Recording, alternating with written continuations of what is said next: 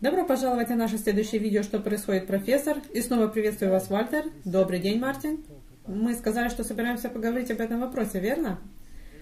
Поэтому мы должны вникнуть в это. Давайте начнем с молитвы.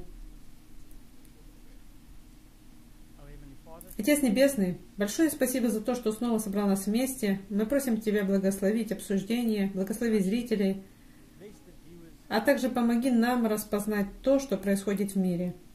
Во имя Иисуса. Аминь.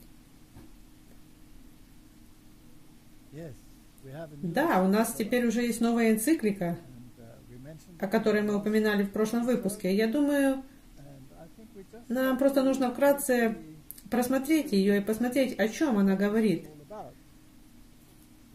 Потому что обман – это название игры, не так ли? И сегодня мы собираемся разоблачить главного обманщика. Мы собираемся попробовать. Это непростая задача, потому что он очень хорош в том, что он делает. Итак, это последняя энциклика Папы Франциска. Это взято из веб-сайта Ватикана, энциклика Фрателли Тутти, святого Папы Франциска о братстве и социальной дружбе. На самом деле этот документ католические социальные доктрины, но это очень хорошо замаскировано. Очень хорошо замаскировано. Итак, давайте окунемся во все это сейчас. И давайте сразу же перейдем к этой статье, которая появилась 6 октября 2020 года, издание «Крукс», где епископ Майкл Ценни высказывается свое мнение об этой энциклике. Статья имеет название «Кардинал говорит, что новая энциклика Папы является предупреждением «Мир на грани». Это почти как изменение климата, на грани. Все должно измениться прямо сейчас. Есть крайний срок. Да, есть крайний срок. Один из главных советников Папы Франциска сказал, что понтифик считает текущую мировую ситуацию сопоставимой с кубинским ракетным кризисом. Второй мировой войны или 11 сентября. И что для полного понимания папской энциклики, выпущенной в воскресенье, необходимо признать, что мы на грани. Итак, это обычная тенденция о том, что мы делаем сегодня, что происходит в мире. В зависимости от вашего возраста, каково было слышать, как Папа Пий XII произносит рождественские послания во время Второй мировой войны, сказал кардинал Майкл Ценни в понедельник, или каково было, когда Папа Иоанн XXIII опубликовал «Пасет Интерис», или после кризиса 2007-2008 годов. Интересно, как они упоминают эти события, верно? Или после 9 сентября и я думаю, вам нужно вернуть это чувство и все ваше существо, чтобы оценить фрателли Тути. Он продолжает.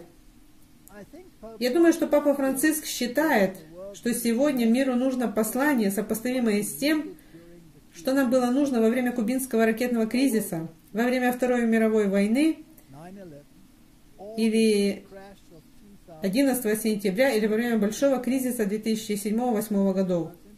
Интересно, что мы говорили в прошлом, что этот крах был очень важным, потому что он изменил мировую экономику. Он полностью изменил мировую экономику. И это важно, потому что он фактически приблизил мировую экономику к папской системе. Это просто нужно настроить сейчас.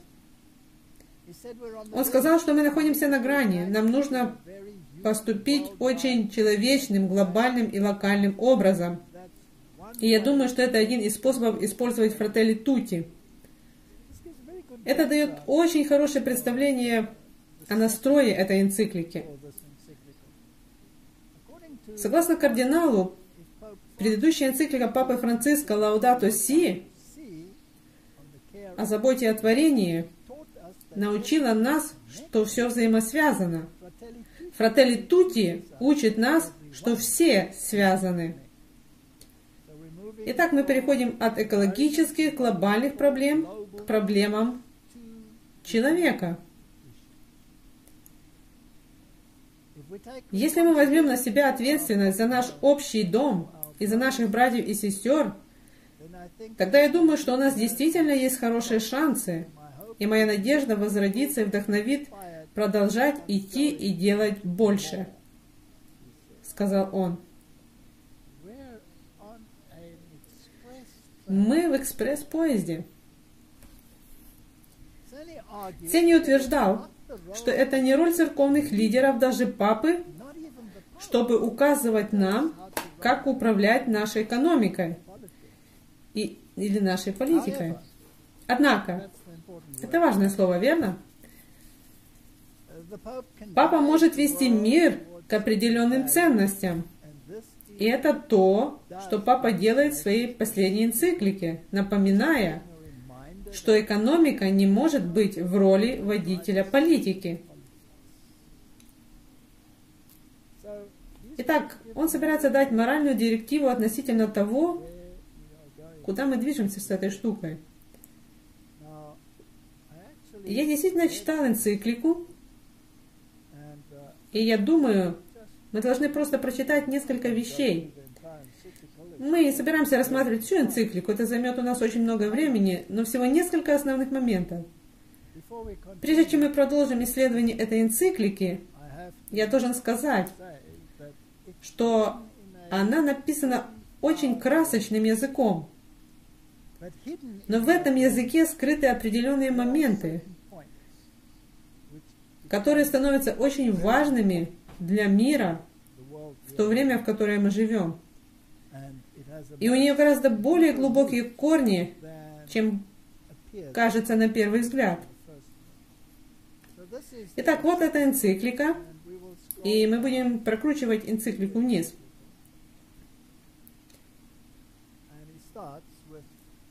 Она начинается с фрателли тути, с этих слов. Как святой Франциск Азийский обратился к своим братьям и сестрам и предложил им образ жизни, отмеченный ароматом Евангелия. Из советов, которые предложил Франциск, я хотел бы выбрать тот, в котором он призывает к любви, которая преодолевает барьеры географии и расстояний и объявляет благословенными всех тех, кто любит своего брата так же сильно, так как когда он далеко от него, так и когда он с ним, близко. Итак, он начинает с нас. Поэтому его образцом для подражания является святой Франциск Азийский. Теперь у меня с этим проблемы с самого начала. Потому что мой образец для подражания Иисус Христос. Это было бы отправной точкой, с которой я бы начал. Но для римского католика, я думаю, святой лучший истолкователь. Но это также потому, что они поместили их и папу на место Иисуса, верно? А теперь давайте просто прочитаем некоторые из заявлений. Мы не собираемся читать слишком много, только некоторые из них. Пункт номер два. Он говорит, этот святой братской любви, простоты и радости, вдохновивший меня написать энциклику «Лаудато Си». Итак, он ссылается на «Лаудато Си». Вы не можете разделить эти две, поэтому одна имеет дело с окружающей средой, а другая с человечеством. Эти двое должны идти вместе. Побуждает меня еще раз посвятить эту новую энциклику братству и социальной дружбе. Франциск чувствовал себя братом солнца, моря и ветра, но знал, что он был даже ближе к ним в своей плоти. Теперь, мой молодой брат, что это? Пантеизм. Пантеизм в лучшем виде. Была ли Лаудато Си переполнена пантеизмом? Да, это пантеистическая религия. Это земная пантеистическая религия, в которой человек выставляет себя как свое собственное божество. Это очень опасное, опасное вступительное заявление. Куда бы он ни пошел, он сеял семена мира и шел рядом с бедными, брошенными, немощными и изгоями, наименьшими из своих братьев и сестер. Это задает тон католической социальной доктрине. Христос пришел спасти все человечество. Иисус сказал, что бедные всегда будут с вами. В мире есть несоответствия, которые несправедливы, но то, как они используют ситуацию, которую они часто сами создают, вот что пугает.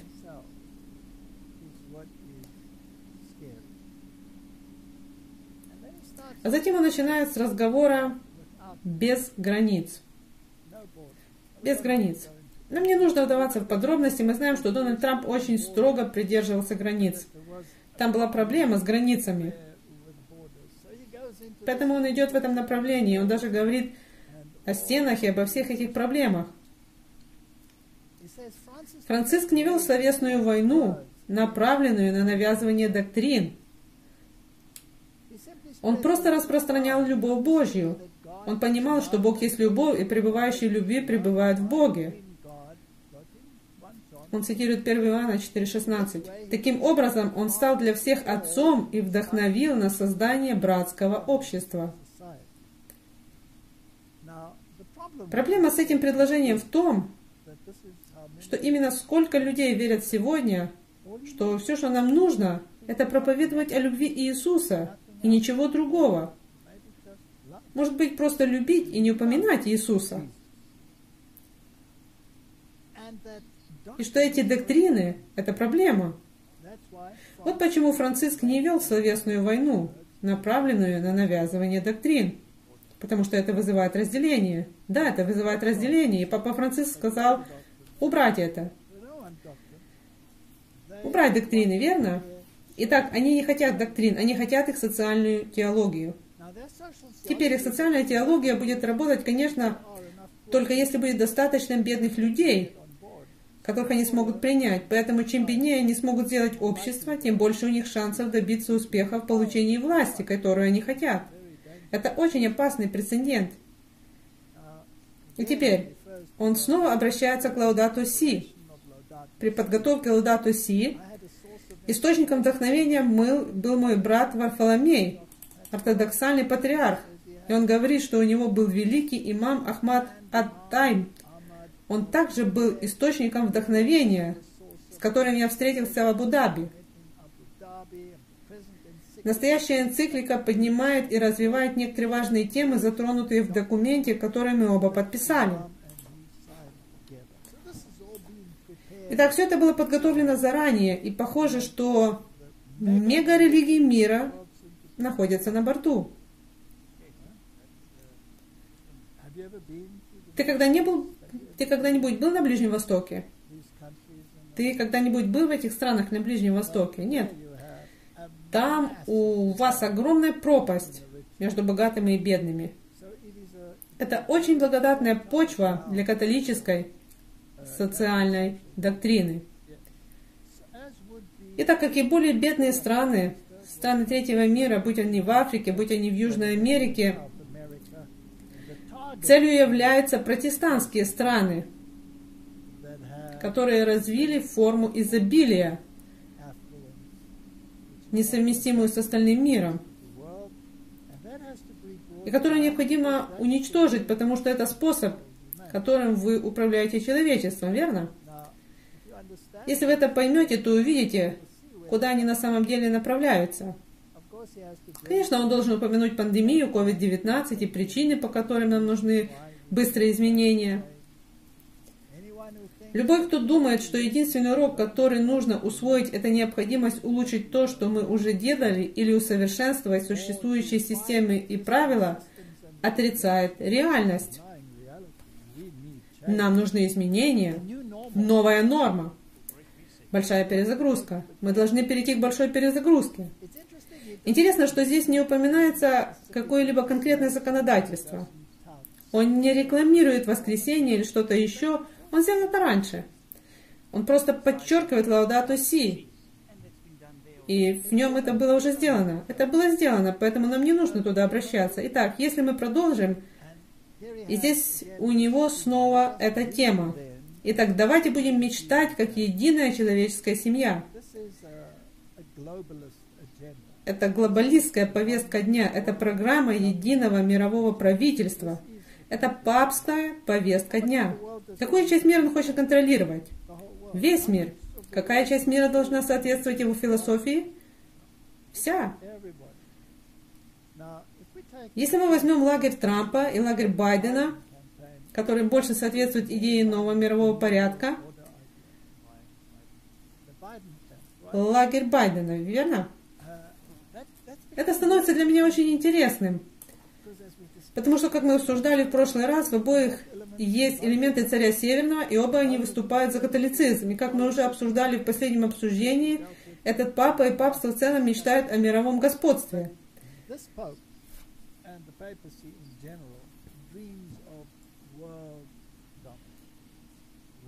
Мировое господство. Единый мировой порядок. Философия Дональда Трампа, хотя церковь и государство очень сильны в той философии, которая является частью римской философии, он не очень силен в философии единого мирового правительства. Читаем дальше. Темные облака над закрытым миром, разбитые мечты. И он продолжает эту проблему. И он говорит, однако наши дни, похоже, демонстрируют признаки определенного регресса. Древние конфликты, которые считались давно похороненными, вспыхивают заново, в то время как примеры близорукого, экстремистского, обидчивого, агрессивного национализма растут. Кого он имеет в виду? Трампа. В некоторых странах концепция народного и национального единства, находящаяся под влиянием различных идеологий, порождает новые формы эгоизма и утраты социального смысла под видом защиты национальных интересов. Итак, очевидно, что это столкновение, верно? Тезис, антитезис, синтез. Что интересно в этом столкновении, так это то, что многие люди видят в Трампе героя, потому что он собирается избавиться от этого нового мирового порядка. Но здесь он это рекламирует, папа это рекламирует. Если вы возьмете, например, QAnon, очень много людей возлагает на него надежды в последнее время. Социальные сети запретили все упоминания QAnon. Они также заявили, конечно, что нынешний папа будет удален, и что Ратцингер снова вступит во владение, но он уже довольно стар. Я думаю, это все несбыточная мечта. Где-то по ходу будет синтез. Итак, да, они работают над этой проблемой. Давайте продолжим. Он очень настойчив. Нет плана для каждого. Нам нужно глобальное управление. Нам не нужно вдаваться во все это. Он говорит о братской любви, любви друг к другу, о любви к нашим различиям. Евангелизация совершенно не в теме.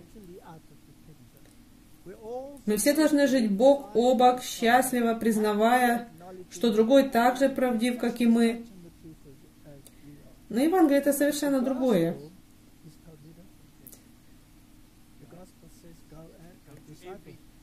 Евангелие говорит, да, и так идите, научите все народы, сделайте их учениками. Это полностью выходит за рамки нового мирового порядка. Он говорит о одноразовом мире. Нам не нужно все это читать на таком красочном языке. Он говорит о недостаточности универсальных прав человека и прав женщин и всего прочего, о рабстве, обо всех этих вопросах. Он упоминает их.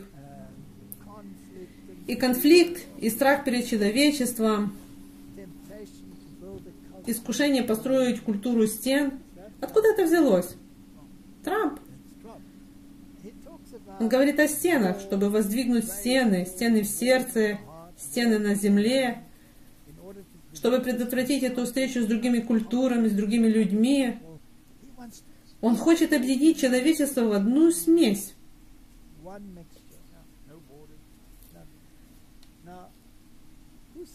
Кто разделил культуры? Бог. Означает ли это, что Бог хотел изолировать культуры? Нет, очевидно, нет. Нужно было познакомиться с людьми, но Бог призвал, что есть различия. Эти различия должны исчезнуть. Я не против иммиграции.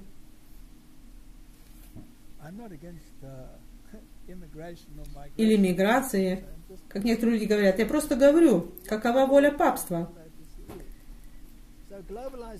Глобализация и прогресс без общей дорожной карты – не сработает, нужна общая дорожная карта, но мы должны разобраться в деталях этого документа. Он говорит здесь, в современном мире исчезают чувства принадлежности к единой человеческой семье. А мечта о совместной работе во имя справедливости и мира кажется устаревшей утопией. Вместо этого царит холодное, комфортное и глобальное безразличие, порожденное глубоким разочарованием, скрытым за обманчивой иллюзией. Мыслью, что мы всемогущие, но неспособность понять, что все мы находимся в одной лодке. Звучит очень хорошо, верно? Очень хорошо. Но к чему это приведет? Он говорит о пандемии и другие бедствия в истории. Действительно, всемирная трагедия, такая как пандемия COVID-19, на мгновение возродила ощущение того, что мы глобальное сообщество, все в одной лодке, где проблемы одного человека являются проблемами всех. Еще раз мы поняли, что никто не спасается в одиночку. Мы можем спастись только вместе.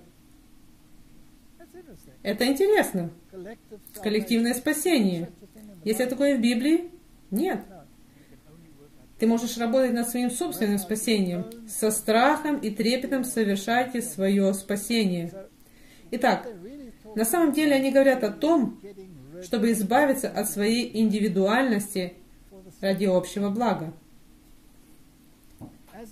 Как я уже говорил, в эти дни шторм обнажил нашу уязвимость и выявил те ложные и излишние уверенности, на которых мы строили наши ежедневные графики, наши проекты, наши привычки, наши приоритеты. Среди этой бури упал фасад тех стереотипов, которыми мы маскировали наше эго, всегда беспокоясь о внешнем виде, и вновь обнажило неоспоримое и благословенное осознание того, что мы часть друг друга, что мы братья и сестры для друга. Мы все едины. При коммунизме все даже носят одну и ту же одежду. Ездят на одинаковых машинах. Ездят на одинаковых машинах. Все тоже. Индивидуальность – это то, что нужно потушить. Если вы посмотрите на человеческую внешность, если два одинаковых человека, даже близнецы, они абсолютно одинаковые. Итак, Бог, Бог разнообразия или Бог однообразия – Бог разнообразия. Они смешивают библейское единство, о котором говорил Иисус, с их человеческими понятиями. Это очень хороший момент. Да, вы едины, едины по цели. С точки зрения веры в то, откуда мы пришли, кто нас спасает и куда мы идем. Теперь нам не нужно читать все, что он говорит обо всех этих вещах, его точка зрения здесь в 35 пункте. Слишком быстро мы забываем уроки истории, учителя жизни. Как только этот кризис здоровья пройдет, нашей худшей реакцией будет еще более глубокое погружение в лихорадочное потребление и новые формы эгоистичного самосохранения. Дай Бог, после всего этого мы больше не будем думать об их и тех, а только о нас. Если бы мы только не оказались просто очередной исторической трагедией, из которой мы ничего не извлекли. Этот COVID будет максимально использован для достижения цели. Новая норма. Да, новая норма. Отсутствие человеческого достоинства на границах. Некоторые популистические политические режимы, а также некоторые либеральные экономические подходы утверждают, что приток мигрантов должен преградить ему путь любой ценой. О ком он слово говорит? Соединенные Штаты. Верно, Соединенные Штаты. И любая другая страна, которая отказывается принимать мигрантов, это большая проблема в Европе. Большая проблема в Германии, во всем мире это серьезная проблема. Но папа всегда утверждал, что у нас должны быть мигранты. Мы должны смешать культуры.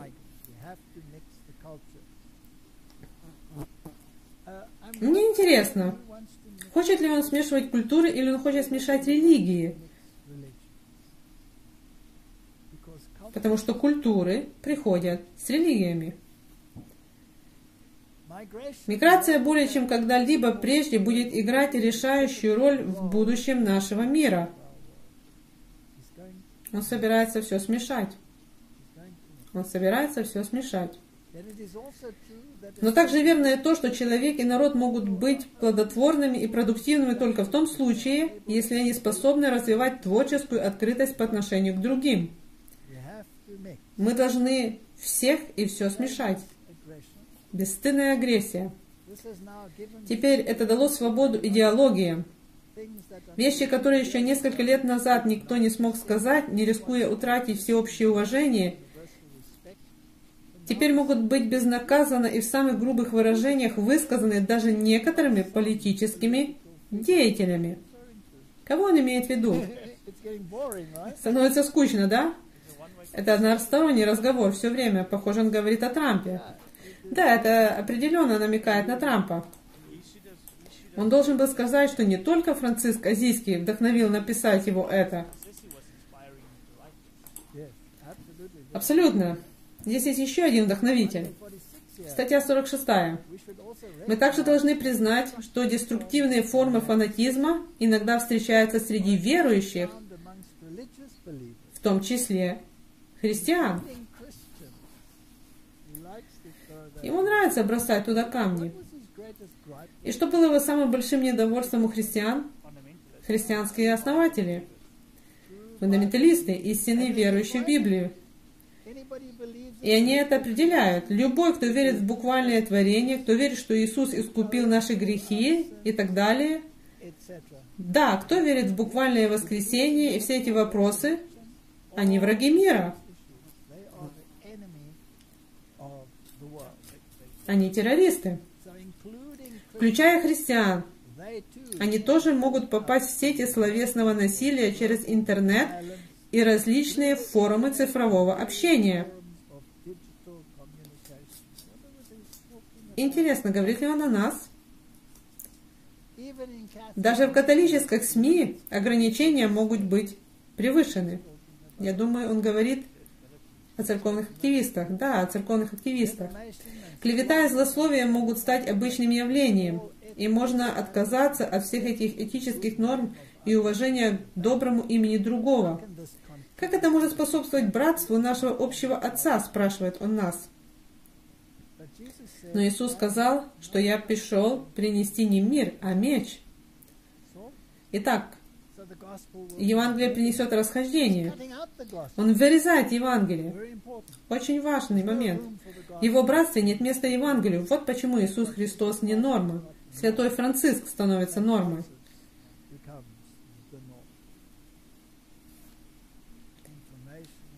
Информация без мудрости формы подчинения и презрения к себе, и надежда, и очень красочный язык. А затем он подробно обсуждает доброго самарянина. Но он совершенно не понимает, кто такой добрый самарянин. Добрый самарянин — это Иисус Христос. И что сделал Иисус Христос? Когда он встретил этого бедного, избитого человека, он был в пути. Все остальные прошли мимо. Они спускались из Иерусалима, и они проигнорировали этого человека, лежащего там.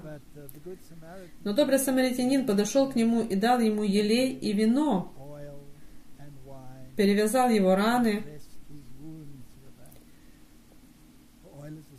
Масло — символ Святого Духа, вино — символ учения, доктрины — вот так он дал ему вина, и он дал ему учение, потому что церковь пренебрегла им. А затем он посадил его на своего осла, свое собственное транспортное средство, и отвез его в гостиницу. Очень странную гостиницу, потому что это также была и больница. Это символ церкви. А потом он сказал владельцу, вот немного денег – Интересно, что он дал ему два пенса.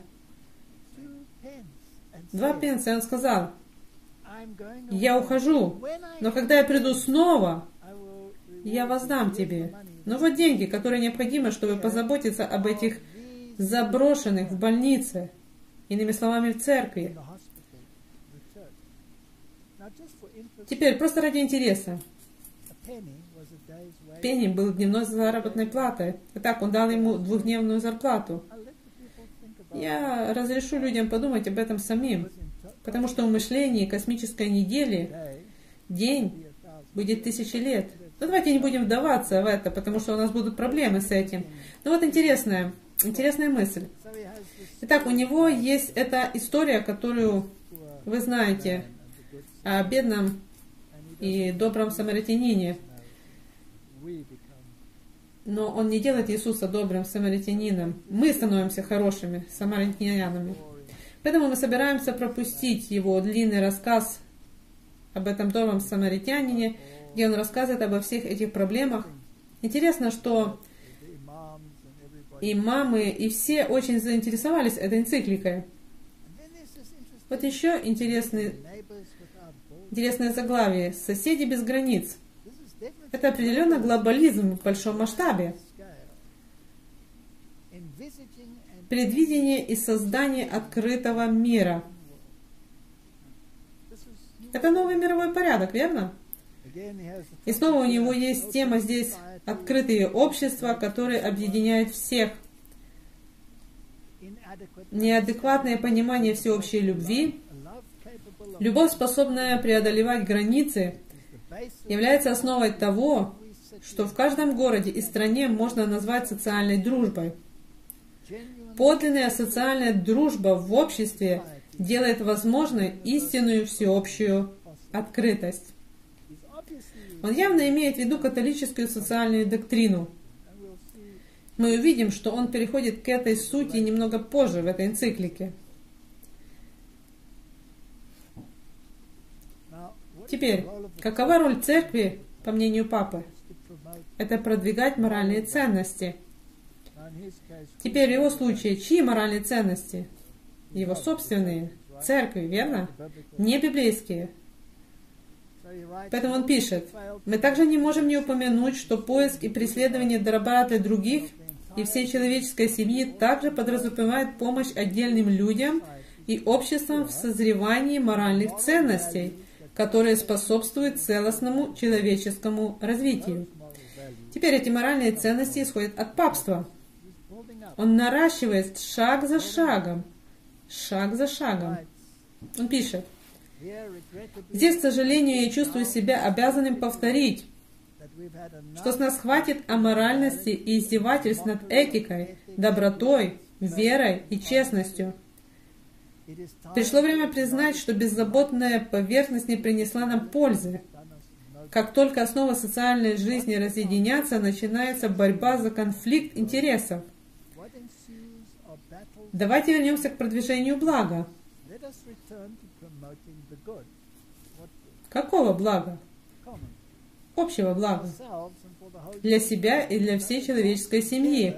И таким образом вместе продвигаемся к подлинному и целостному росту. Каждое общество должно гарантировать, что ценности передаются, иначе то, что передается по наследству, будет эгоизмом, насилием, коррупцией в его различных формах, безразличными и в конечном счете жизнью близкой к трансцендентности и укоренившейся в личных интересах. Индивидуальность должна исчезнуть.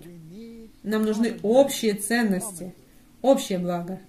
Как вы сказали в предыдущем эпизоде, свобода вероисповедания длится до тех пор, пока она не противоречит общему благу.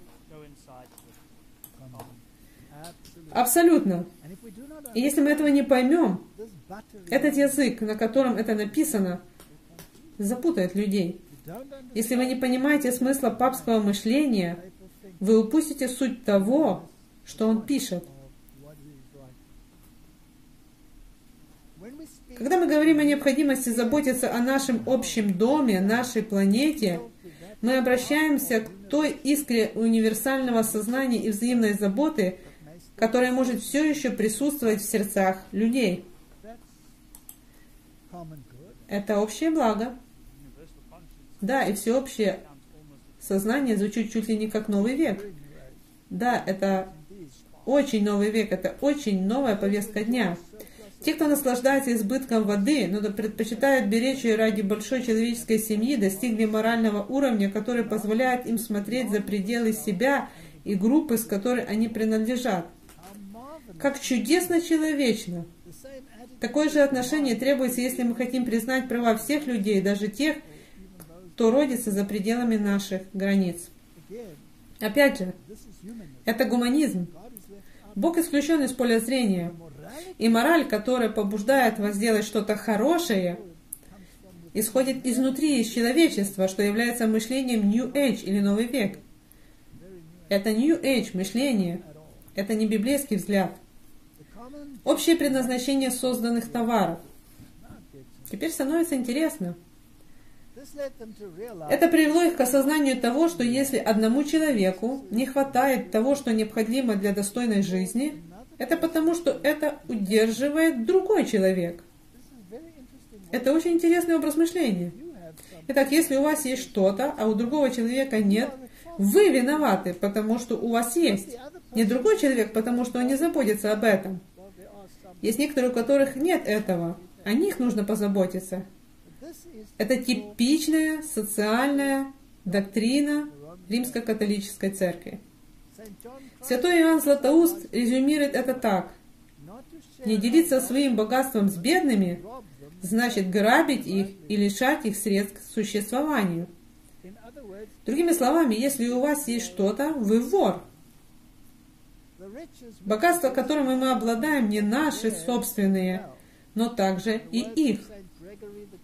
По словам святого Григория Великого, когда мы обеспечиваем нуждающихся их основными потребностями, мы даем им то, что напряжит им, а не нам.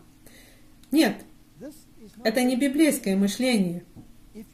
Если вы предоставляете нуждающимся средства, чтобы они могли позаботиться о себе, если вы обучаете людей, если вы даете им стимулы работать и достигать, тогда им не нужно искать богатство в чужом доме. Это отражение энциклики Rerum Novarum. Мы поговорим об этом через пару минут. Это католическое социальное мышление в лучшем или, на мой взгляд, в худшем состоянии. Теперь он цитирует папу Иоанна Павла II. И в Соединенных Штатах есть его святыня. И Дональд Трамп посетил эту святыню. Интересно, действительно ли он доволен теологией папы Иоанна Павла? Он упомянул в предыдущем видео, что на самом деле да. Это довольно странно. Со своей стороны я хотел бы заметить, что христианская традиция никогда не признавала право на частную собственность как абсолютное или неприкосновенное. Это католическая социальная доктрина. Мы рассмотрим это. И подчеркивала социальную цель всех форм частной собственности. В римско-католическом мышлении вам разрешено владеть собственностью, но эта собственность не принадлежит вам, она принадлежит для социального развития. Если довести это до крайности, как это делают в некоторых странах мира, если у вас есть участок земли, и он нужен другим, они могут его забрать. Это ваш общественный долг, обеспечивать их, потому что у вас есть. Вероятно, это также ваш общественный долг продолжать платить взносы за землю. Теперь, это становится очень интересно. Дальше говорится, принцип всеобщего использования созданных благ является первым принципом всего этического и социального строя. Это очень увлекательно. Поэтому, если у вас есть что-то, то вы владеете этим только для общественного блага. Я когда-то работал в учреждении, которое подарило мне сотовый телефон, потому что нам нужно было общаться. Но мобильный телефон был социальным пособием. Любой другой, кто останавливал вас и нуждался в мобильном телефоне, вы должны были отдать его ему. Но счет приходил вам. Это интересно. Очень интересно. Итак, то, что у тебя есть, на самом деле не твое. Если у тебя есть машина, она не твоя. Если кому-то она нужна, они могут ее взять. Это естественные и неотъемлемые права, имеющие приоритет над другими. Все другие права, связанные с товарами, необходимыми для полного осуществления людьми, в том числе право частной собственности и любого другого вида собственности, должны, по словам святого Павла VI, никоим образом не препятствовать этому праву, но должны активно способствовать его реализации. У вас ничего нет. Он имеет в виду энциклику Папы Иоанна Павла II. И он имеет в виду энциклику Папы Павла VI. Мы должны бегло взглянуть на эти энциклики. Никоим образом не препятствовать этому праву, но должно активно способствовать его реализации. Право на частную собственность можно рассматривать только как вторичное, естественное право, вытекающее из принципа универсального предназначения создаваемых товаров. Это имеет конкретные последствия, которые должны быть отражены в работе общества. Однако часто случается, что вторичные права вытесняют первичные и преимущественные права, что на практике делает их неактуальными. Итак, вы используете свою собственность для себя, но это плохо. Это запрещено в католическом мышлении. В средние века у них было духовенство, а затем у них была элита. Элита была землевладельцами, и крепостные вы нанимали у них землю, но они не владели землей. Итак, мы собираемся перейти к аналогичной системе в этом порядке. Итак, крупная компания предоставляет жилье, и вы становитесь рабом компании. Эти компании позже заняли место элитных земледельцев древних времен. Дворяне, в кавычках. Итак, у нас такая же система. Права без границ. Таким образом, никто не может оставаться исключенным из-за своего места рождения, а тем более из-за привилегий, которыми пользуются другие, родившиеся в странах с большими возможностями. Пределы и границы отдельных государств не могут этому помешать. Итак, если вы стали богатой нацией, потому что вы трудолюбивый народ, то вам придется отдать это бедным людям. Вы должны. Это католическая социальная доктрина. Все должны быть равны. Любая голова, которая появляется над другими, должна быть отрублена. Развитие не должно быть нацелено на накопление богатства немногими, но должно обеспечивать права человека, личные и социальные, экономические и политические, включая права наций и народов. Итак, что применимо к личности, применимо к нациям. Итак, капитализм во всех его формах должен исчезнуть. Альтернатива – государство владеет всем. И, но и это по католицизму тоже неправильно. Итак, у нас есть тезис, и у нас есть антитезис.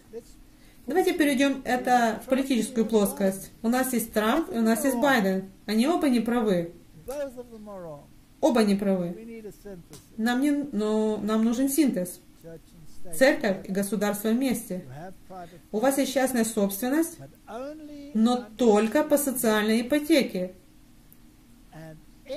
И все, что у вас есть, не ваше. Интересно, в предыдущем видео Байден сказал, что он живет социальной доктриной Римской католической церкви. Берни Сандерс, Берни Сандерс хвастался этим фактом, что он отправился в Ватикан и там принял участие в этих экономических дискуссиях. Он хвастался, что его философия – это католическая социальная философия. Американцы посмотрели на него и сказали, это человек экстремал. Но они еще ничего не увидели. Они еще ничего не увидели. Давай продолжим.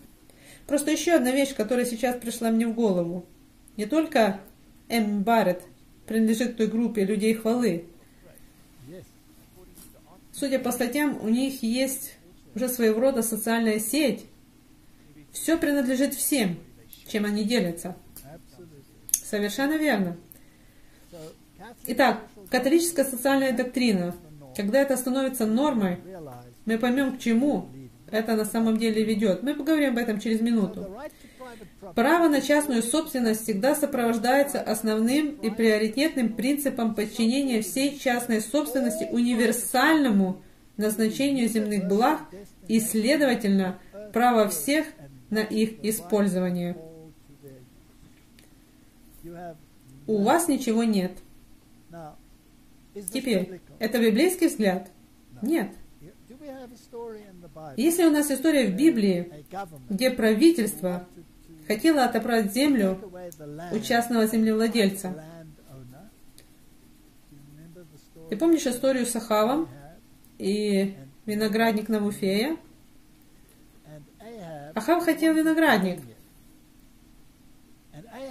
И Ахав сказал, я хочу этот виноградник. Но Навуфей сказал ему, извини, это мое наследство от кого? От Бога. Это мое Богом данное право. Это не твое. Ты помнишь, что сказал ему? Не волнуйся, я тебе достану его. Иезавель. Иезавель служит своего рода прообразом кого? Римско-католическая церковь. Ага, откуда мы это знаем? Потому что если вы пойдете в церковь средних веков, в книге Откровения, там будет Иезавель, которую терпит церковь. Она имеет дело с пурпурным и красным цветом римско-католической церкви. Она так-то сказала, я достану его для тебя.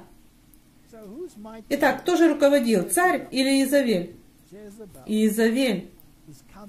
Его лицо было грустным, как сказано в Библии. И Изавель. Что она сделала?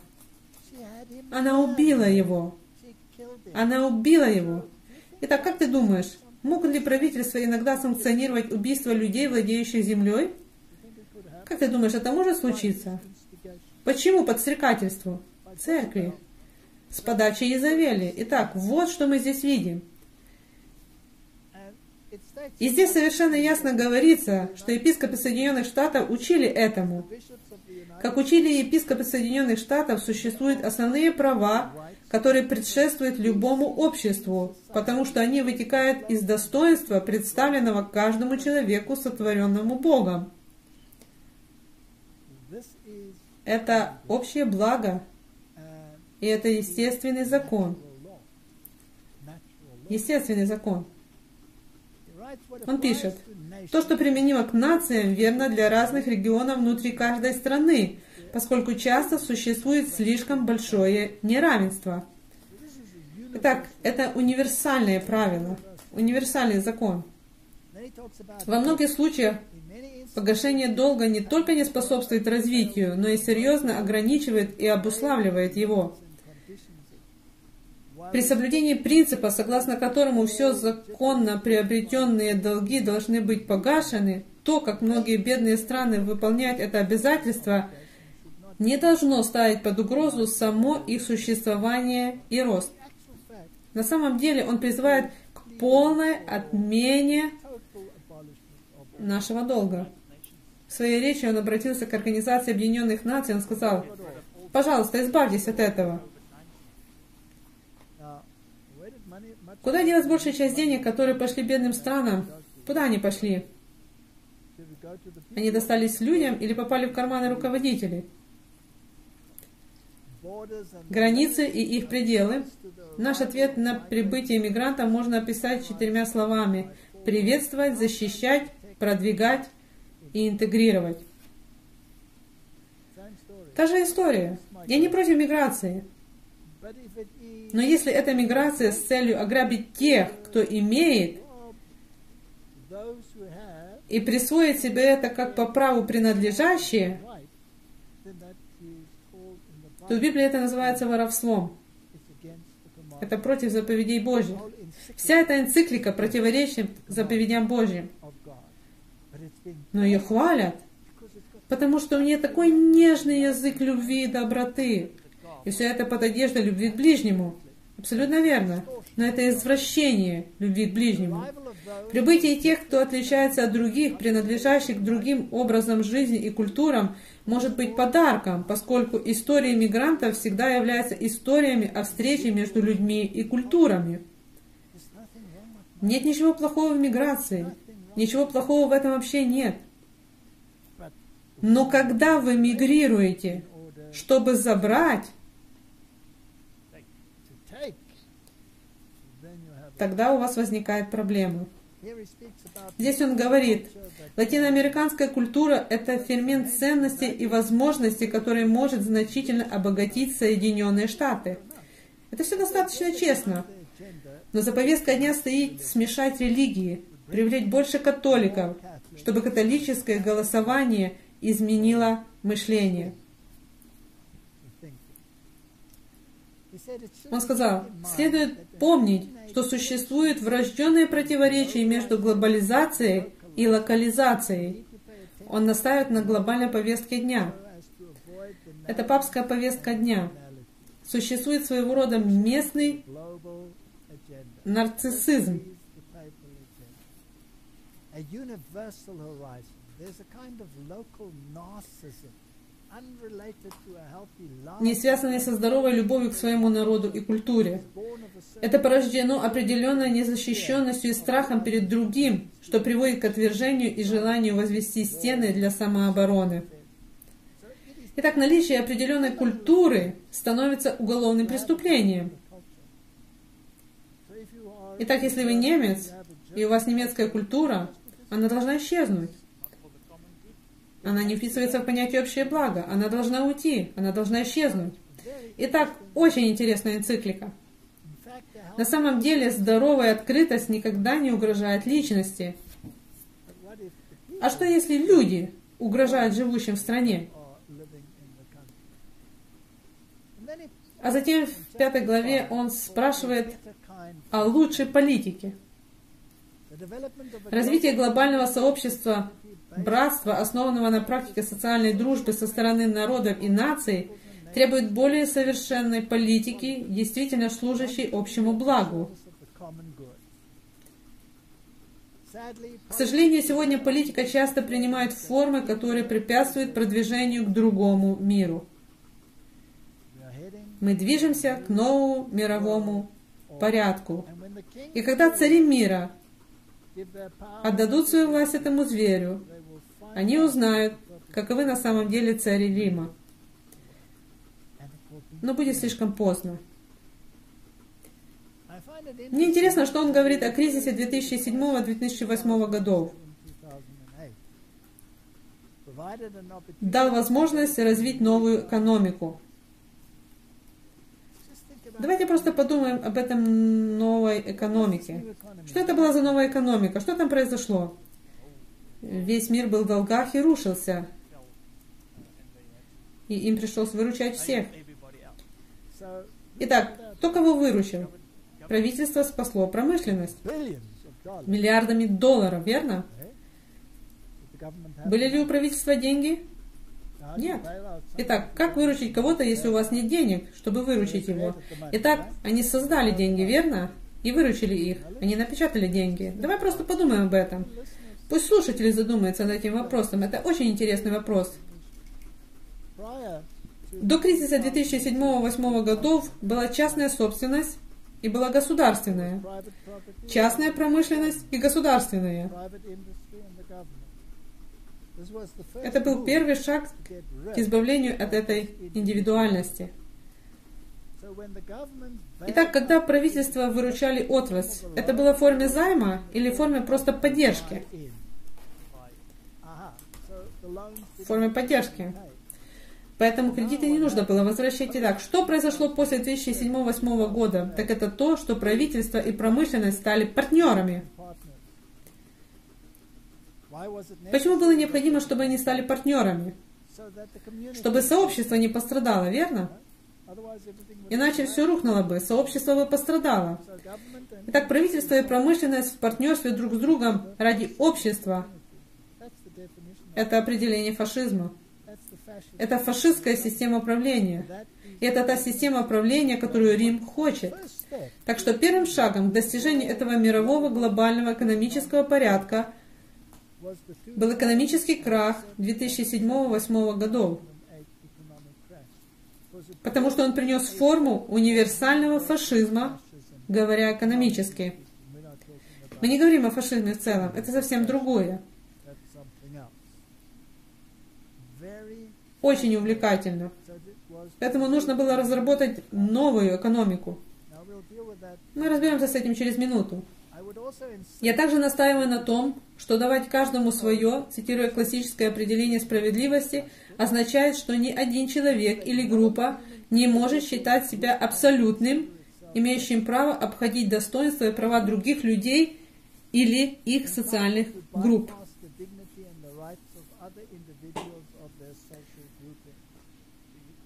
Итак, у вас не может быть собственной личности. Ты не можешь иметь.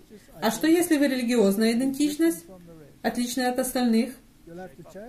Вам придется измениться? Да, вам придется измениться. Эффективное распределение власти, особенно политической, экономической, оборонной и технологической, между множеством субъектов и создание юридической системы для регулирования требований и интересов является одним из конкретных способов ограничения власти. Очень интересно. Итак, вам не разрешено быть личностью. В этой связи я бы также отметил необходимость реформы Организации Объединенных Наций. Он очень занятый человек. А также экономические институты и международные финансы, так что концепция семьи наций может обрести настоящие зубы.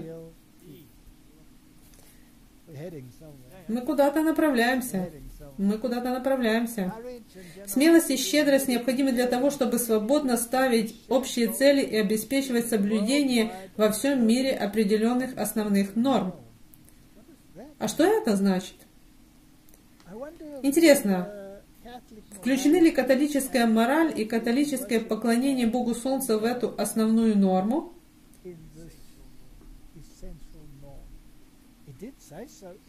Он сказал это на Лаудату Си, на что он ссылался много раз. И кажется, что ваша индивидуальная или групповая идентичность должна уступить место этой новой норме.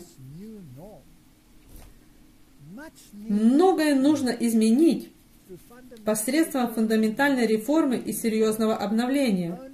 Только здоровая политика, включающая самые разные секторы и навыки, способна контролировать этот процесс.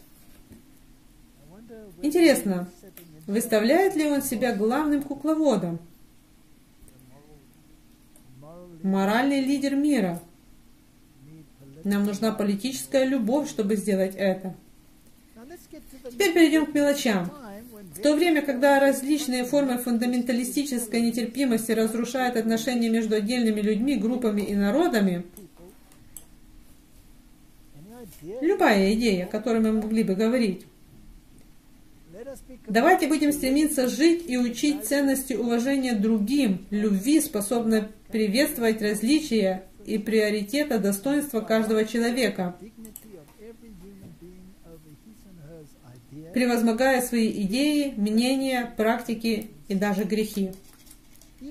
Даже когда формы фанатизма, замкнутости и социальной и культурной раздробленности распространяются в современном обществе, Хороший политик сделает первый шаг и будет настаивать на том, чтобы были услышаны разные голоса. Разногласия вполне могут привести к конфликтам, но единообразие душит и ведет к культурному упадку. Давайте не будем довольствоваться тем, что мы заключены в один фрагмент реальности. Итак, если у вас есть определенная религиозная норма, вам лучше подготовиться или отплыть. В этой связи великий имам Ахмад Ад Таеб и я призван архитектором международной политики и мировой экономики усиленно работать над распространением культуры, терпимости и совместной жизни в мире. Звучит очень хорошо. Две основные религии, о которых он говорит. Две основные религии. Когда одна часть общества эксплуатирует все, что может предложить мир, действует так, как будто бедных не существует, в конечном итоге будут последствия. Рано или поздно игнорирование существования и прав других выльется в ту или иную форму насилия, часто в самый неподходящий момент. Свобода, равенство и братство могут оставаться высокими идеалами, если они не распространяются на всех. Теперь, брат мой, ты создал бедность в этом мире, ты пришел в этот мир очень богатым, или ты пришел в этот мир как все, как все. Приходилось ли тебе работать, чтобы достичь всего, чего ты достиг в жизни? Да. Это твоя вина, если правительство или системы подавляют других. Это очень односторонний взгляд на мир. Итак, продолжим. Мне интересно, что он говорит. Истина, по сути, является неразлучным спутником справедливости и милосердия. Конечно же, правда. Но о чьей истине он говорит? О церковной. Не о библейской истине. На кресте справедливость и милосердие поцеловали друг друга. Вот где вы найдете истину.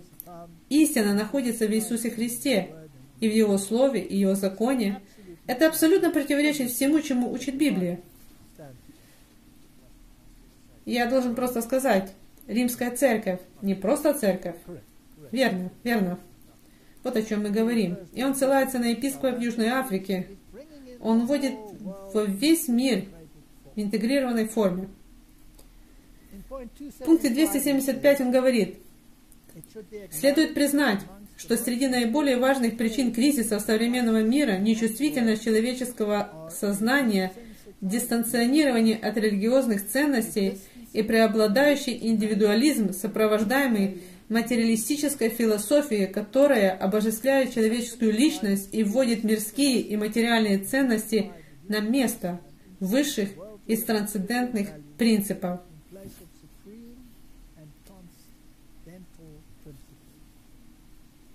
Интересно, что человеческая совесть была дестабилизирована, но кем?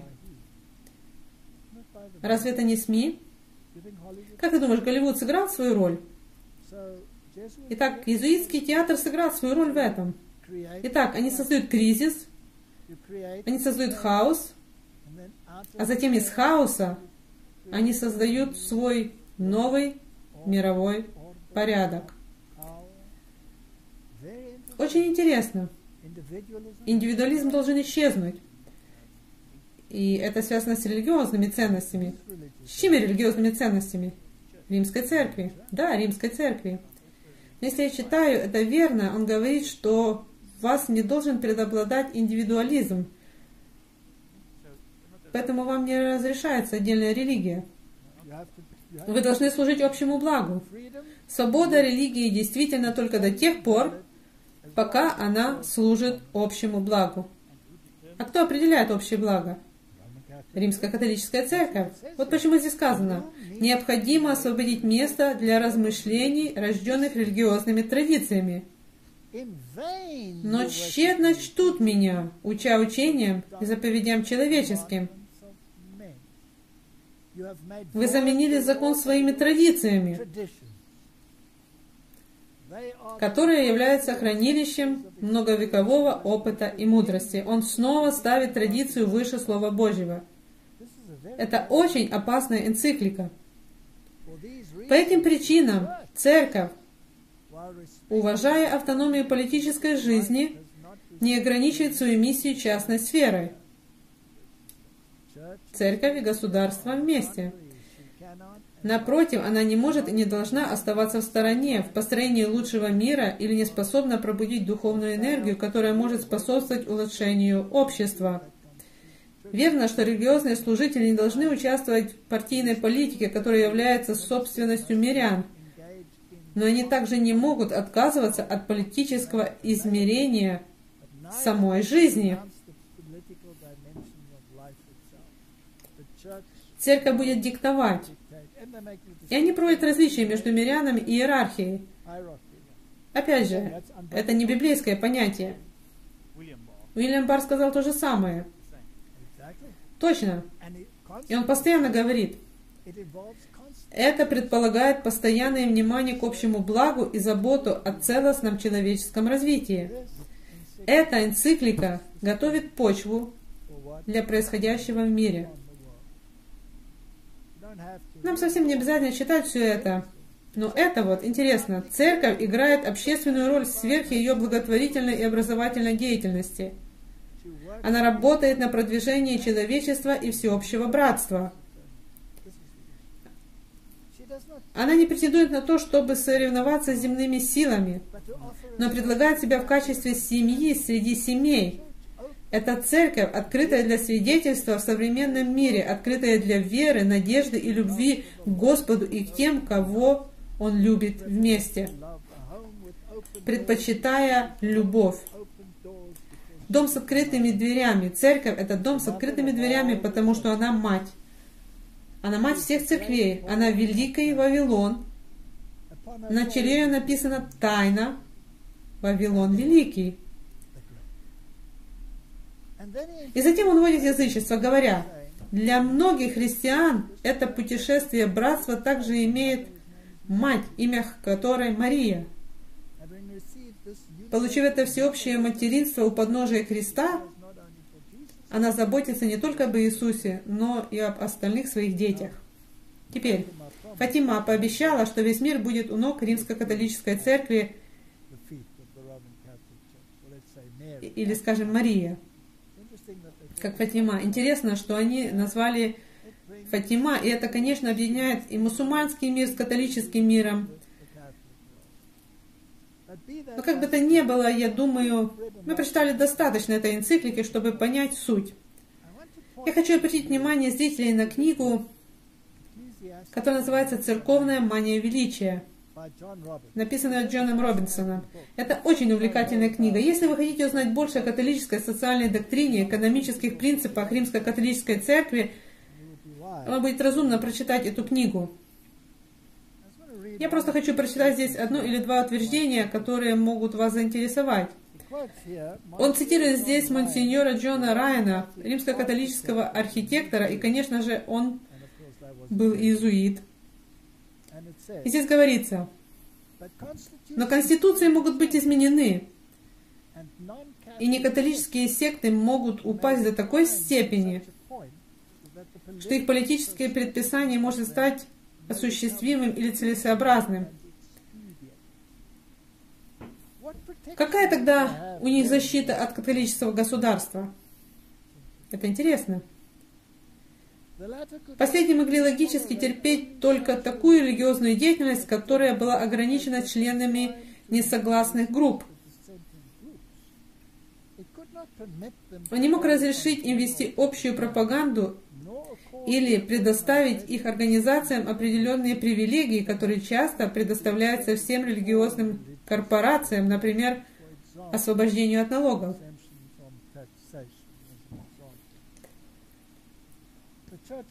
Церковь будет править. В 1948 году Изуит Кавали объяснил политическую стратегию римско-католического государства. Здесь говорится, Римская католическая церковь, убежденная благодаря своим божественным прерогативам быть единственной истинной церковью, должна требовать права свободы только для себя, потому что таким правом можно обладать только по истине, а не по ошибке. В государстве, где большинство людей являются католиками, церковь будет требовать, чтобы законное существование было отказано в праве на ошибку, и чтобы, если религиозные меньшинства активно существуют, они должны существовать только де-факто, без возможности распространять свои убеждения. Это иезуитское мышление. Если вы принадлежите какой-то группе, которая верит в Библию, которая считает, что Иисус — единственный путь к спасению, которая считает, что Слово Божье является нормой и стандартом для вашей жизни, которая верит, что закон Бога в целом связывает все десять заповедей, вы будете преданы анафеме в глазах этой церкви. Айн Ред была права, когда писала в 1967 году.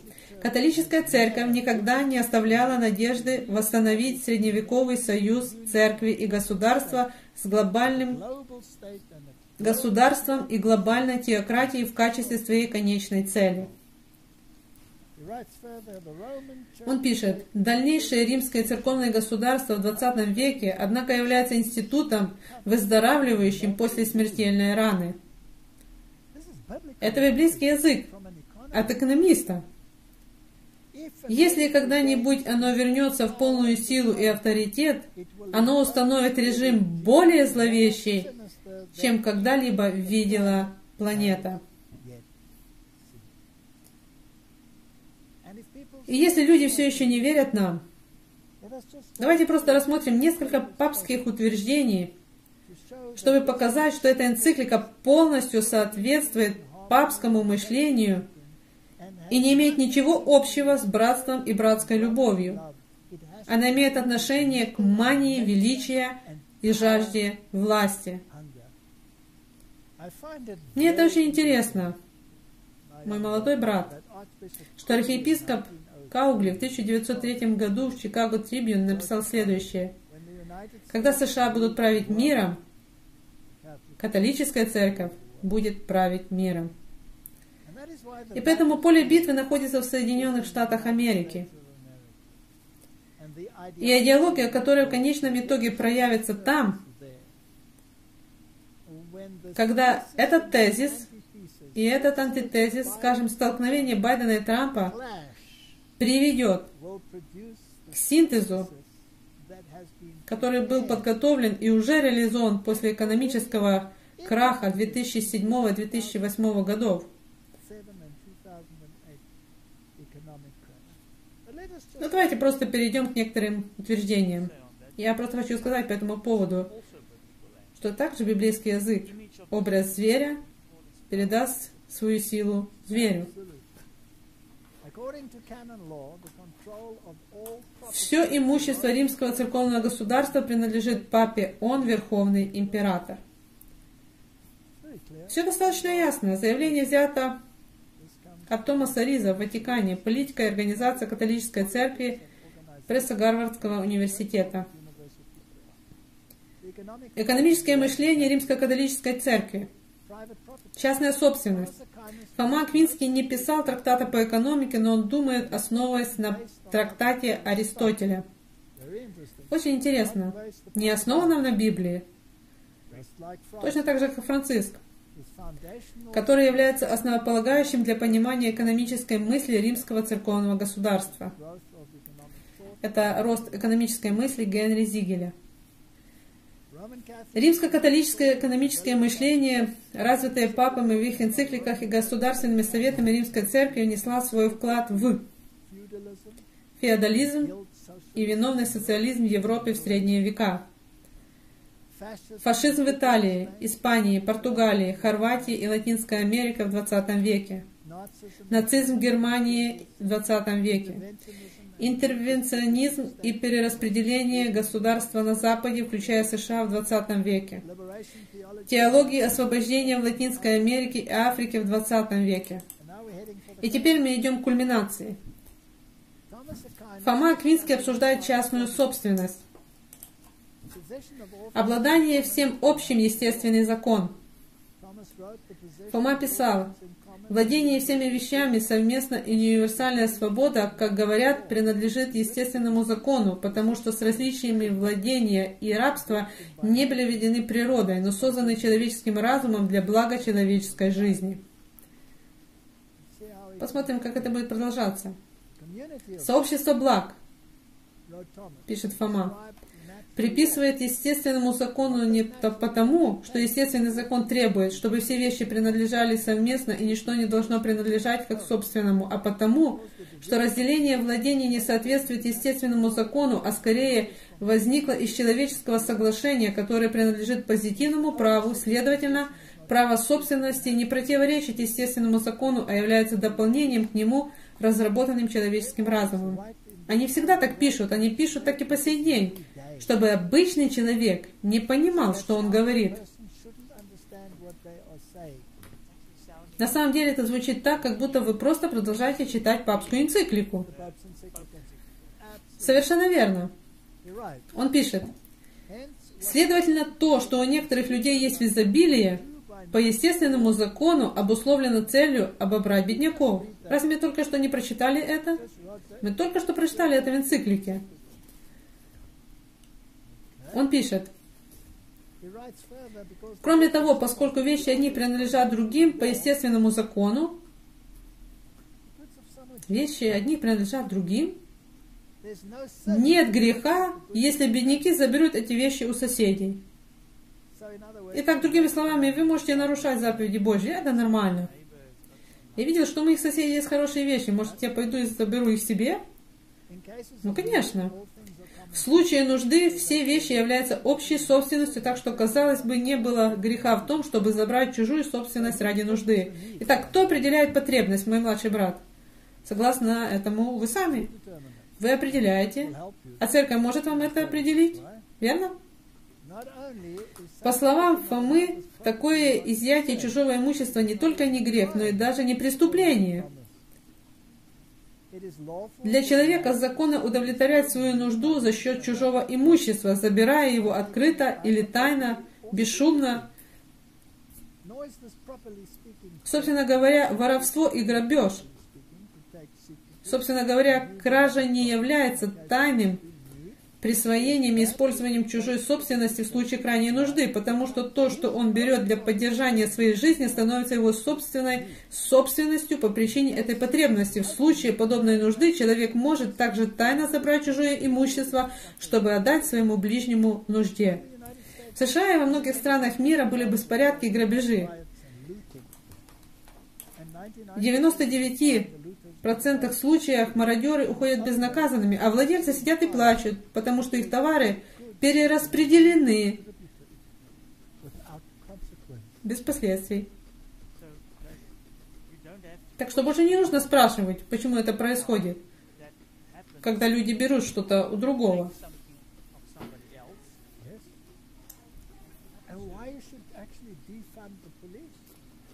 Вот вы должны фактически избавиться от полиции, избавьтесь от нее, потому что все является общим. У тебя нет права иметь что-то в избытке. Теперь, если у тебя есть магазин, полный вещей, это действительно супер изобилие. Как насчет того, чтобы просто ограбить магазин? Это нормально. Никаких последствий. Церковь говорит, что это не грех. Римско-католическая доктрина частной собственности 19th century communist повторяется в коммунистическом лозунге XIX века «От каждого в соответствии с его способностями, каждому в соответствии с его потребностями». Итак, права человека важнее прав собственности. Это было кредо великого общества Линда Джонса. Мы возьмем им, у имущих и отдадим неимущим, которым это очень нужно. Это появляется буквально в фашизме, нацизме, теологии освобождения, интервенционизме и социализме. Это то, что Берни Сандерс, люди все они об этом говорят. Это римско-католическая доктрина.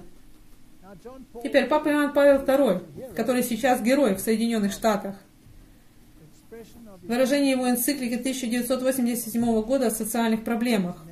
Необходимо еще раз сформулировать характерный принцип христианской социальной доктрины. Благо этого мира изначально предназначены для всех. Право частной собственности действительно и необходимо, но это не отменяет ценность этого принципа. Частная собственность фактически находится под социальной ипотекой. Она не принадлежит вам, она принадлежит всем.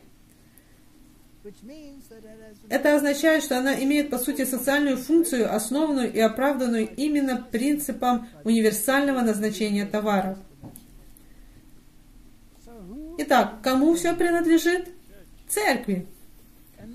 И никто больше ничем не владеет, даже правительство. Церкви принадлежит все. Если вы вернетесь в историю и придете к карте Южной Америки, где папа взял свой палец и сказал, «Теперь это принадлежит моей доброй стране, Португалии. А это вот здесь принадлежит моей хорошей стране Испании. И если вы будете противиться, я соберу это у вас и передам другим». Он положит руку на Чехословакию, на Чешскую республику, и скажет, ее больше не существует, Потому этот молодой хозяин осмелился оттолкнуть население от Рима. Этой страны, этой экономики не будет. Папа Павел VI цитировал ли Папа Франциск его? Да. Таким образом, каждый человек имеет право найти в мире то, что ему необходимо. Недавний Второй Ватиканский собор напоминает нам об этом. Бог предназначил Землю и все, что на ней есть, для использования каждым человеком и людьми. Следовать справедливости и объединяться в благотворительности, созданные блага должны изобиловать для них на разумной основе. Все другие права, включая права собственности и свободы торговли, должны подчиняться этому принципу. У вас ничего нет. Что касается предыдущего слайда относительно слов Иоанна Павла II, кажется, что Трамп сейчас против всей этой собственности, всего, что принадлежит всем. Но, как вы сказали, он поддерживает Иоанна Павла II. Совершенно верно. И здесь он цитирует. Если кто-то находится в крайней необходимости, имеет право добыть себе все, что ему нужно из чужих богатств. Это именно то, что сказал Фома Аквинский. Эти люди не святые, они преступники в глазах Бога. И мы называем их, или церковь называет их святыми? Поэтому, поскольку частная собственность аморальна, все люди и правительства несут моральное обязательство распределять товары, несправедливо принадлежащие собственнику. Интересно, верно? Иоанн Павел II говорит, все товары включают в себя не только природные товары, но и промышленные товары. Итак, у вас нет права на телевизор, если он кому-то нужен, или ваш автомобиль. Ничего, можно угонять, все разрешено.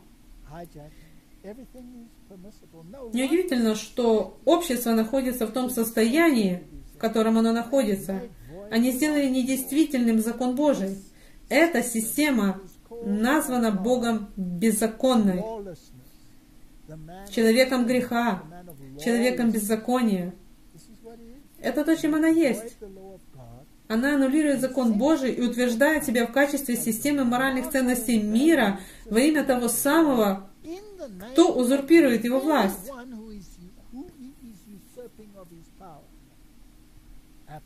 Это очень увлекательно. Я просто еще хочу повторить раз. Не думайте, о да, но это папа, это римско-католическая церковь, на это не стоит обращать just Но как вы только что слышали в предыдущем эпизоде, Байден и Трамп, они возвышают это установление. И не только это. Фундамент для реализации этих вещей уже сделан. Так что это не философия где-то на горизонте. Она уже у двери. И эта энциклика, которую вы только что просмотрели, также подтверждает, что Рим не изменился. Рим не изменился ни на йоту. А это энциклика Папы Римского Пия Rerum Novarum о положении рабочих классов. Одно из самых влиятельных заявлений Римской Церкви по экономическим вопросам – это энциклика 1891 года Rerum Novarum, посвященная положению рабочего класса. Ничего не изменилось. Эта энциклика вышла в 1891 году, и каждый папа цитировал ее. В этой энциклике римское церковное государство вступает в союз с протестующим, который в марксизме является главным и последним врагом капиталистического строя. Пий XI, написавший в 1931 году, заявил, что «Rerum Novarum» выделяется тем, что она устанавливает даже для всего человечества безошибочные правила для правильного решения сложных проблем человеческой солидарности, называемых социальным вопросом.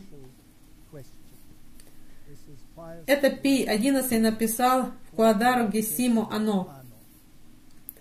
John the 23rd, Иоанн 23, он также цитирует Pope that и это папа, который начал Второй Ватиканский собор, помнишь? Безусловно, наиболее заметным свидетельством социального учения и действий, которые церковь излагала на протяжении столетия, несомненно, является очень выдающееся письмо энциклика to say Я хочу сказать вам сегодня, что энциклика, которую только что выпустил Папа Франциск, изложено на этом красочном языке, является ничем иным, как перефразированием «Rerum Novarum». Выпущенные 70 лет назад, нормы и рекомендации, содержащиеся в ней, были настолько важны, что их память никогда не канет в лету. И Папа Франциск просто сделал ее довольно ясной. Он сказал нам, что эта энциклика Rerum Novarum сыграла важную роль в прекращении капитализма в 20 веке, открыв эру эффективного вмешательства правительства. У вас нет частной жизни. И разве они не подняли это на новый уровень, что они забрали вашу частную жизнь? Она всегда в вашем кармане, когда вы носите с собой телефон. Как с COVID-19. Постоянное наблюдение. Нет частной жизни. Совершенно верно, нет никакой частной жизни. Это взято из книги «Духовная мания величия», которую я сейчас цитирую. Он говорит, «Рерум новарум было голосом морального авторитета, необходимого для обеспечения эффективного вмешательства всех правительств в 20-е годы». Пи XI писал, Поэтому неудивительно, что под учением и руководством церкви многие ученые, священники и миряне серьезно посвятили себя проблеме развития социальной и экономической науки в соответствии с условиями нашей эпохи.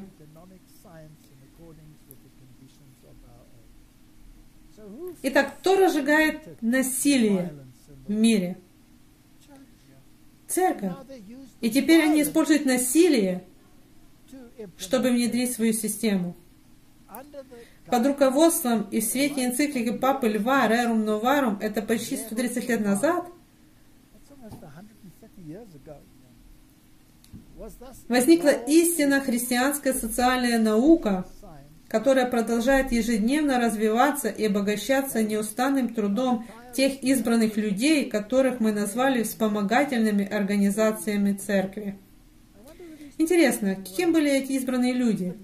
Это люди, управляющие политикой мира. И кто постоянно стоит рядом с ними? Их гиды, иезуиты и прелаты. И это были не единственные благословения, которые следовали из энциклики. Учение Рерум Новарум начало постепенно проникать среди тех, кто, находясь за пределами католического единства, не признает авторитет церкви. Цари мира предадут свою власть церкви, римско-католической системе. Это произойдет. Эти католические принципы социологии постепенно стали частью интеллектуального наследия всего человечества. Поэтому мы также радуемся, что католические истины, столь энергично провозглашенные нашими прославленными предшественниками Львом XIII, продвигаются и отстаиваются не только в некатолических книгах и журналах, но часто также и в законодательных собраниях и судах. Байдены этого мира, Берни Сандерс этого мира говорят на этом языке. Это те избранные люди. Увлекательный язык. Тайные общества. Теория заговора. У наших друзей будет урожайный день о теориях заговора. Итак, Джон Робинс резюмирует это и задает вопрос, кто эти избранные люди?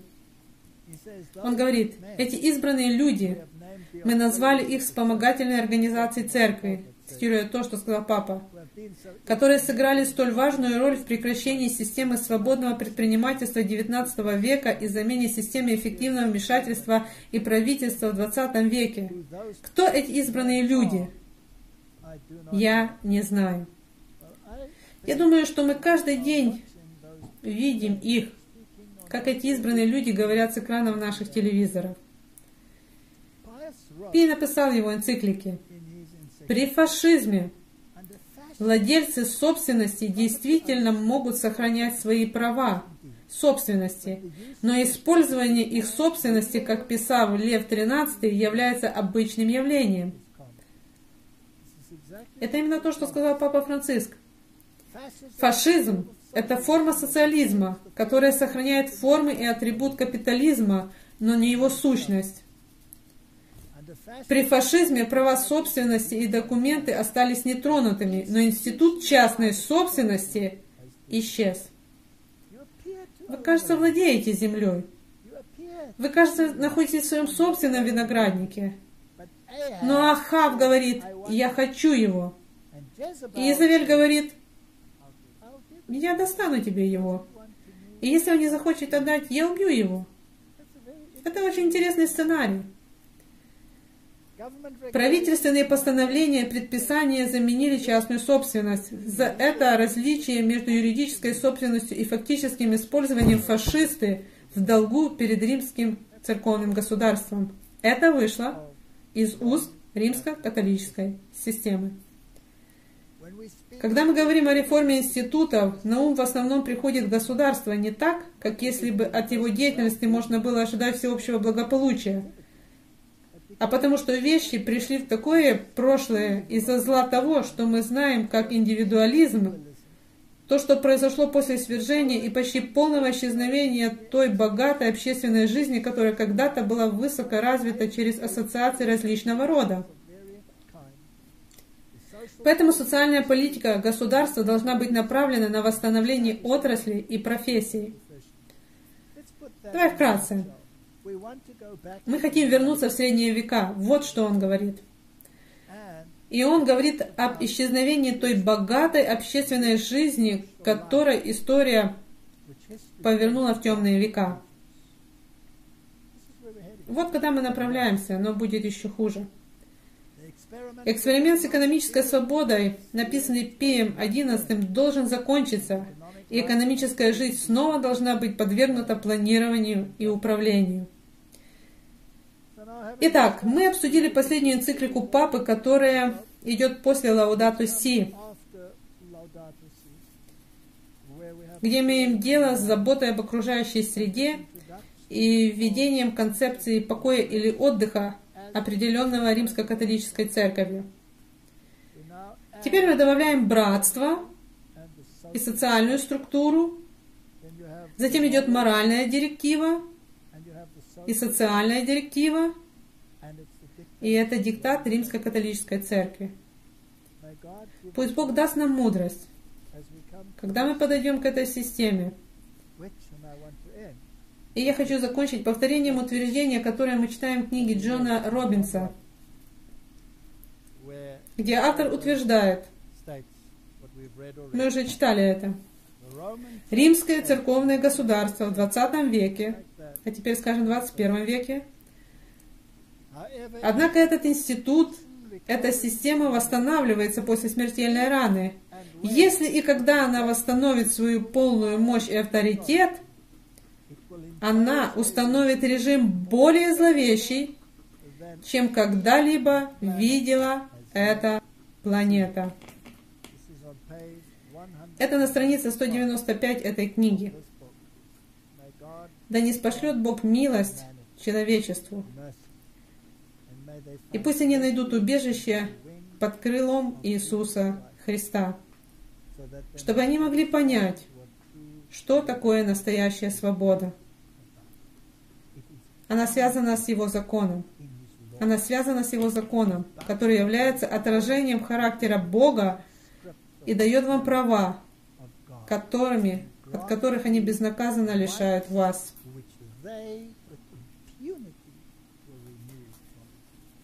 Давайте помолимся. Отец Небесный, мы направляемся к самым последним моментам земной истории. Мы живем в очень серьезные времена.